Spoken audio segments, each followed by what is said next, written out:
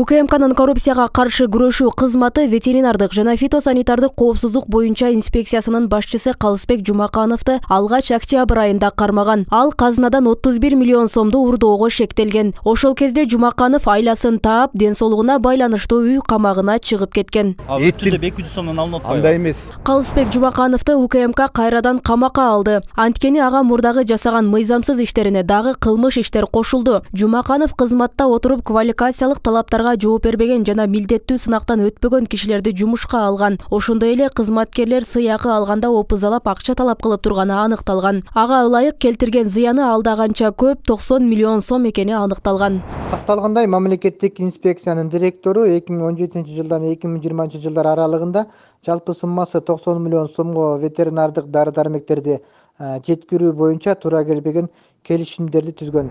Укмкнын маалыматы боюнча калысбек жумаканов биопрепараттарды жана вакциналарды жогорулатылган баада сатып алууда коррупциялык схема түзүп алган. Ветеринардык дары дармектерди алуу боюнча пайдасыз келишимдерди түзгөн. Жумаканов учурда укмкнын убактылуу кармоочу жайына киргизилген аталган кызматтагы алешемдиктер жана шалаакылык боюнча жетинчи канал буга чейин бир катар маалыматтарды ачыктап чагылдырып келген. Өткөн жылы курамында нитраты ашыкча дарбыз коондор базарларды каптаган кийинчерээк базарда сатылган эттердин лабораториядан текшерилбегени текшерүүдө касаптардын негизсиз акча чогултуу байкалган ал эми быйыл мал союлуучу жайлардын талапка жооп бербегени аталган кызматтагы кайдыгерлик билинсе жыл башынан базарда сатылган сүт азыктарынын коопсуздугу суроо жаратууда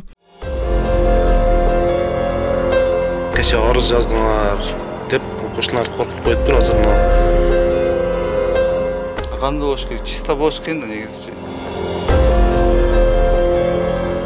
ал арада сыртка экспорттолуп жаткан эшек этинин чырына да чекит коюлбай келет. Булардын баарына ветеринардык жана фитосанитардык кызматы жооптуу мындан улам азыр тармактагы коррупциялык схемалар четинен аныкталып жатат. Андыктан бул тармак дагы реформаны талап кылууда. Жылкы башка тоок бак болуп туруп азыр ар бир бет врачка нагрузка беш алты эседен көбөйүп кеткен. Ошонун баарын караш кандай болот? Карайт бирок сапаты төмөн болот да.